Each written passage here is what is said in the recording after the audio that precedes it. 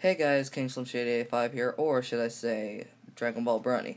Now, yes, I have been part of the Brony community for a while now. Um, ever since I was 13, my sister got me into the My Little Pony show. Um, anyway, if you guys, you know, if you guys been watching my old posts, or if any of you haven't seen the old, uh, old videos, then go and check them out. They're still gonna be posted on my channel. I'm not getting rid of them. Um, you know, you can go see them, like them, subscribe, uh, you know, leave a like, subscribe, do whatever you want, you know, I don't care. Like, I only care for your entertainment. Anyway, so, there's new things coming out, reaction videos, more gaming, and maybe some pony animations, I don't know.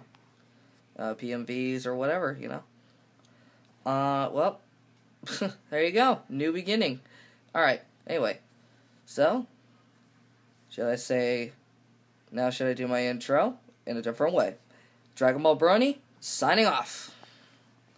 Bro Hoof.